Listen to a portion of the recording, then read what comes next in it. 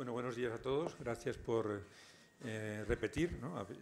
Digamos, no salieron suficientemente cansados ayer como para eh, esta, mañana volver a estar con nosotros, por lo cual me, me alegro mucho. Eh, y vamos a empezar ya sin, demasiados preámbulos con la segunda jornada que, como habrán visto en el programa, la abre eh, don Javier Amoros Dorda, que es el presidente en funciones del Consejo de Transparencia eh, Español, de España, que lleva prácticamente en funciones dos años, porque él, le tocó, en su, es un funcionario de larga trayectoria en, la Administración General del Estado, en diferentes responsabilidades, y le correspondió hace, en el año 2014 crear el consejo de, de la mano de Esther Alimendi, que fue la primera presidenta, pero ellos dos, Esther lo contó muchas veces, a ellos dos les tocó peregrinar por diferentes instancias para mm, conseguir diferentes eh, aperturas de todo tipo que hace falta cuando un órgano empieza a funcionar. Por lo tanto, él fue creador, co-creador con Esther Alimendi del Consejo, ha vivido todas sus vicisitudes en estos cinco últimos años y además pues está en los, en los últimos dos años sobre todo de alguna manera el Consejo está siendo puesto a prueba, en buena medida, por el alto nivel de litigiosidad, como dirían los técnicos, o de recursos que experimenta por parte del Gobierno español, que no siempre está de acuerdo con sus resoluciones y, y ha producido pues, eso, un alto número de reclamaciones del propio Gobierno a las eh, resoluciones que el propio Consejo realiza, con lo cual eh, eso demuestra, yo creo que es el mejor indicativo de, del nivel de, de independencia que con, el, que el Consejo funciona respecto al Gobierno central. Sin más introducción, les dejo con, con, con Javier. Bueno, muchas gracias, Daniel. Buenos días a todos, eh, bienvenidos.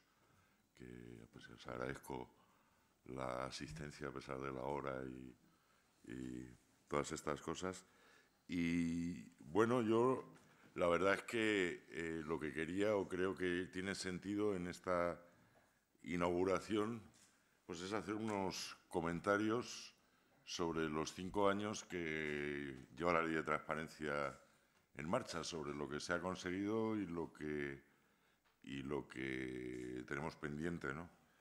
Eh, yo creo que es un muy buen momento para hacer balance, porque cinco años de, de actividad es, eh, proporcionan un, un, una cantidad de información, de material, de datos, sobre se puede enjuiciar un poco en, en qué sentido vamos todos los que estamos un poco empeñados en esta, en esta lucha. ¿no? La ley entró en vigor el 10 de diciembre de 2014, después de un año que se dio la Administración para organizarse en el caso de las comunidades autónomas y las entidades locales, es a partir del 10 de diciembre de 2015 cuando realmente entró en pleno, en pleno vigor, pero este 10 de diciembre se cumplen cinco años desde la, creación de la ley. Coincide que también el 13 de diciembre, el próximo 13 de diciembre, se cumplirían cinco años desde que tomó posesión Esther Arizmendi, la, la primera presidenta del, Consejo, que como saben, falleció en el ejercicio del cargo el 17 de noviembre de, de 2017. ¿no? Y también el 21 de diciembre se cumplirían los cinco años desde que se constituyó la Comisión de Transparencia y Buen Gobierno, que es el órgano colegiado que tiene el Consejo Estatal, con participación de representantes del Congreso, del Senado, del Tribunal de Cuentas un poco las instituciones del, del Estado, que se constituyó solemnemente en el en el Senado, en aquel momento el Consejo no tenía ni siquiera oficinas, y con los, bajo los auspicios directos de la entonces vicepresidente del Gobierno, Soraya Sánchez de Santa María, que realmente eh, apoyó al inicio el, Consejo y nos acompañó en esa sesión constitutiva. Entonces, este mes de diciembre, digamos que es el, el mes en el que realmente se cumplen cinco años desde que esto empezó en España. ¿no? Eh, no es cierto tampoco que la transparencia empezara en España en 2015. Antes había toda una serie de, leyes y una serie de normas de transparencia. Lo que pasa es que eran eh, normas sectoriales en materia de publicidad de contratos o de publicidad de subvenciones. Lo que no había era una ley integral ni una visión integral de una política de, de, transparencia, una política pública real de, de, transparencia, ¿no? que esto es lo que se hizo en, en 2015. ¿no? Y en ese balance de, de, cinco años, bueno, yo quiero destacar un poco lo que a mí me parecen que son las, lo que se llama estos eh, análisis de fortalezas y debilidades, lo que serían las fortalezas de, de la implantación de la transparencia en España, lo que hemos avanzado y lo que serían, por otro lado, los, los inconvenientes, un poco para enmarcar luego la, la formación que se va a impartir. ¿no? Desde el punto de vista de las fortalezas, eh, yo creo que hay motivos para, para eh, ser optimistas, ¿no? aunque después de lo que ha dicho eh, Daniel, que es verdad que tropezamos con una litigiosidad importante, de lo que luego hablaré un poquito, pero realmente yo creo que es importante tener en cuenta que en estos cinco años lo que sí que se ha conseguido, digamos, es que eh, la transparencia se haya hecho presente en casi todas las instituciones públicas. Para bien o para mal, yo creo que todos los organismos públicos somos conscientes de que existe esta política que de alguna manera incide en nuestra actividad como funcionarios de, todos los días y que va a suponer un cambio. Eh, obviamente en algunos sectores se ha avanzado más que en otros, pero yo creo que eso es un hecho importante. ¿no? En la medida en que los avances que se han conseguido, aunque a lo mejor no han llegado todo lo lejos que se esperaban, lo que sí que creo es que no tienen retroceso, digamos. Eh, más o menos todos los organismos públicos tienen un portal de transparencia, publican mejor o, peor manera su, información para eh, que los ciudadanos puedan consultarlo a través de la publicidad activa. Más o menos todos los organismos eh, sujetos a la ley resuelven las solicitudes de información de los ciudadanos, por lo menos las tramitan, en unos casos se resuelven con mayor celeridad que en otros o con mayor eh, agrado que en otros, ¿no? pero realmente se han establecido procedimientos, se han establecido cauces eh, procedimentales y se han institucionalizado. Eh, realmente la transparencia se ha institucionalizado, existe toda una organización dedicada a la gestión de, de la transparencia, tanto en el Estado, donde se han creado en cada ministerio unas unidades especializadas en, información de transparencia. Eh, a nivel de comunidades autónomas, todas las comunidades autónomas han dotado una organización de gestión, en algunos casos a un nivel jerárquico muy alto, hay con varios consejeros de transparencia y participación. Eh, si no son direcciones generales, también a nivel local hay ayuntamientos donde hay unas direcciones generales o áreas de transparencia, departamento de transparencia muy importantes, como en el caso de los ayuntamientos de, Barcelona o de Madrid. La propia red de consejos de, transparencia como órganos garantes de los derechos de los ciudadanos. Ahora mismo en España existen 11 eh, consejos o comisiones de, de transparencia y en algunos casos se han utilizado instituciones preexistentes como los defensores del pueblo, pero hay 11 comunidades autónomas que tienen sus propios órganos de garantía. El resto de las comunidades autónomas han firmado un convenio de colaboración con, con el Consejo Estatal y nosotros nos ocupamos de resolver esas reclamaciones. Pero digamos que hay una red institucional que hace visible y que formaliza la, la transparencia y que atiende las necesidades de los, Por otra parte, también se ha desarrollado la ley de transparencia. La ley de transparencia, o la transparencia, mejor dicho, como, saben, es una materia de, competencia compartida entre el Estado y las comunidades autónomas. El Estado dentro de su competencia exclusiva para establecer las bases del régimen jurídico de las administraciones públicas y el procedimiento administrativo común, ha establecido las normas básicas de transparencia que cada comunidad autónoma ha desarrollado a través de su propia legislación. En este momento, las, salvo en el caso de la ciudad de Ceuta o de la comunidad autónoma del País Vasco, todas las comunidades autónomas tienen una ley de, transparencia. Leyes de transparencia que además hay que decir que han ido bastante más allá de lo que son los umbrales de transparencia que marca la, ley estatal. Eh, la ley estatal, como primera norma, que tampoco es exacto que fuera la primera norma, porque antes de la ley del Estado, eh, Galicia, Baleares y, Extremadura habían legislado ya en materia de transparencia, pero bueno, las, demás leyes se produjeron después de la ley estatal, pero han, aumentado considerablemente los umbrales de transparencia de la ley básica del Estado, a tal punto que en el Estado realmente hemos sido, nos hemos quedado cortos, hemos sido mucho más tímidos de lo que han hecho las, las comunidades autónomas. ¿no? Yo creo que eso también es un aspecto eh, positivo que hay que saludar en la medida en que siempre que se marca un umbral máximo, la tendencia de los demás es aproximarse a ese umbral, o sea que poco a poco eh, se irá avanzando hasta que se fije un techo de, transparencia mucho más alto que el que marca la ley básica estatal. Yo creo que todos estos aspectos son positivos. Hay otro aspecto que es, positivo, aunque eh, realmente, dicho como lo voy a decir, pues puede generar cierto escepticismo. ¿no? Pero yo creo que desde, a nivel de los responsables políticos empieza a haber una conciencia de que realmente esto es, es necesario, que realmente es algo con lo que van a tener que vivir eh, más en un, momento político como el que estamos atravesando, en que realmente la ciudadanía está organizada, está empoderada y está demandando a los poderes públicos una actuación ejemplar. Hay autores que hablan de que antes de esta desafección o de esta crisis del mandato representativo que estamos viviendo, no solo en España, sino a escala mundial, eh, la legitimidad, digamos que una vez que se, se, pasaban las elecciones generales, la legitimidad se, se presumía, no había que estar eh, ejerciéndola ni reivindicándola. Y ahora cualquier responsable político está en un ejercicio permanente de, de renovación de su legitimación. Es decir, cualquier cargo público tiene que estar demostrando continuamente que está actuando con integridad, que tiene derecho a estar en el cargo, que eh, reúne los requisitos de perfil profesional y de preparación que se exigen. Esto lo estamos viviendo a nivel de, de la prensa todos los días y aunque obviamente haya eh, resistencias o haya renuencias, más en unos sectores que en otros, yo creo que sí que hay una vivencia clara de que esto de la transparencia, aunque sea molesto, como decía eh, Esther Arizmendi, nuestra primera presidenta, realmente la transparencia ha venido para quedarse y, esto es, una realidad que para mí es lo que resumiría estos cinco años y las razones por las que yo entiendo que hay que ser optimista.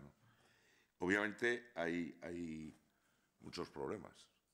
Eh, no en vano la transparencia y la actuación, digamos, a la luz pública de las instituciones y de las administraciones públicas representa un cambio absoluto con respecto a lo que ha sido la Administración y el Gobierno en España hasta estos momentos.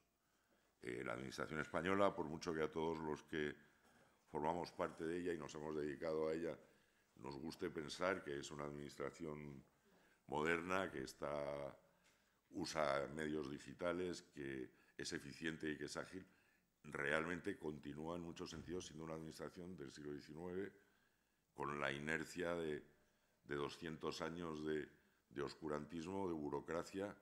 Es una administración con un tamaño que muchos sectores consideran excesivo, a la que le cuesta mucho adaptarse a, estos, a estas innovaciones. Y yo creo que ese es un aspecto que realmente es, hace complicado el cambio que impone la, cultura de transparencia. Muchas veces se reprocha a la Administración bueno, que es oscura.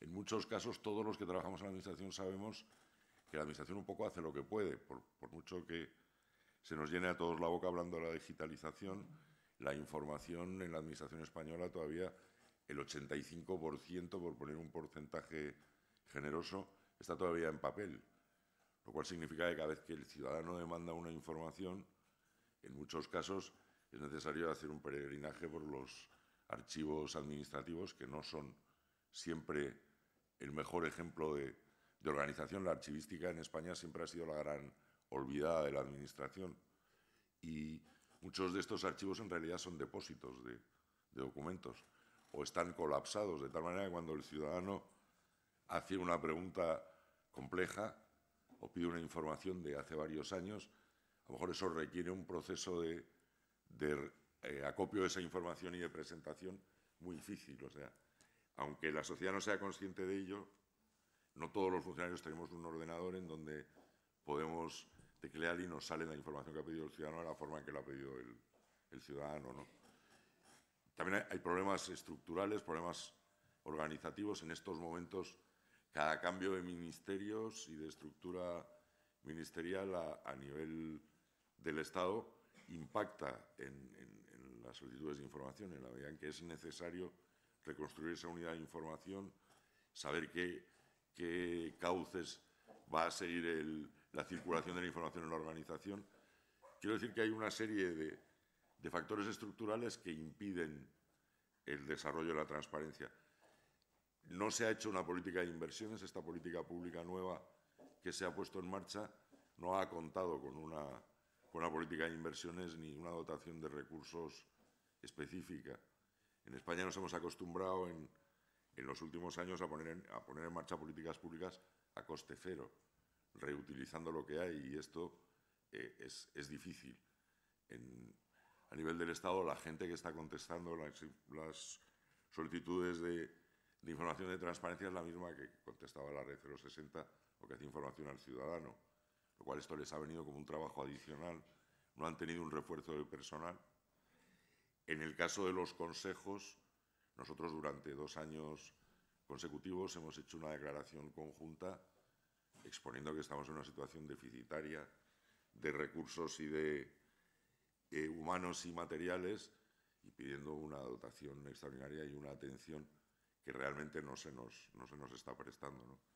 Esto, obviamente, es un aspecto muy negativo y que está dificultando el, el despliegue de la transparencia. ¿no? Por otro lado, hay un problema también en la ciudadanía. La, ciudadanía no conoce, en primer lugar, la ley de transparencia ni las, las herramientas de que, eh, que la ley eh, ofrece al ciudadano para poder solicitar información pública y ejercer su control de las instituciones públicas de una manera informada. Obviamente esto no es culpa del ciudadano, es un problema que no se ha hecho una verdadera labor de difusión ni de divulgación del contenido de la ley y de las herramientas que, que proporciona. ¿no? Eh, inicialmente se hizo un, un, una campaña de difusión, se hicieron una serie de cuñadas de radio que yo creo que coincidió con las Navidades en 2014, que prácticamente pasó inadvertida. A partir de ese momento no se ha hecho ninguna campaña institucional o una divulgación general. Eh, nosotros hace dos años desde el Consejo eh, con colaboración con el Centro de Investigaciones Sociológicas, en uno de los barómetros del CIS incluimos una serie de preguntas sobre transparencia para pulsar el conocimiento de la ciudadanía de la ley y de sus posibilidades. Nos encontramos con que el 50% de los ciudadanos desconocen que existe una ley de transparencia, que el 50% que la conoce tiene un conocimiento muy superficial y, por supuesto, cuando ya se desciende a, a preguntar, ¿conoce usted que existe un portal de transparencia? Lo visita, los porcentajes bajan alarmantemente. ¿no? De hecho, el uso de la, de la, el acceso a la información pública en España es bajo.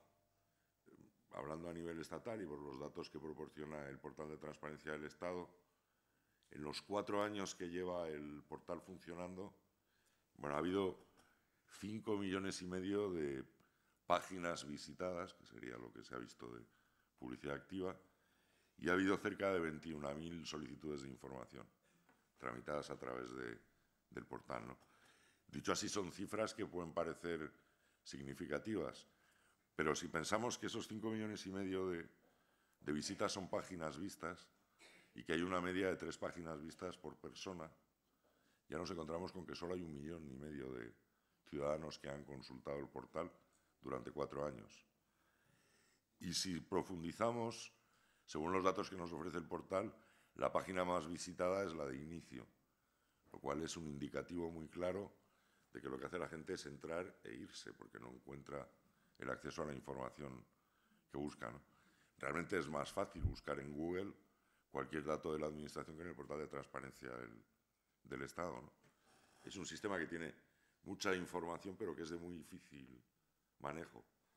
En el acceso a la información, que les decía que son más o menos 21.000 solicitudes las que se han hecho en cuatro años, esto significa que son más o menos 4.500, 4.600 solicitudes por año.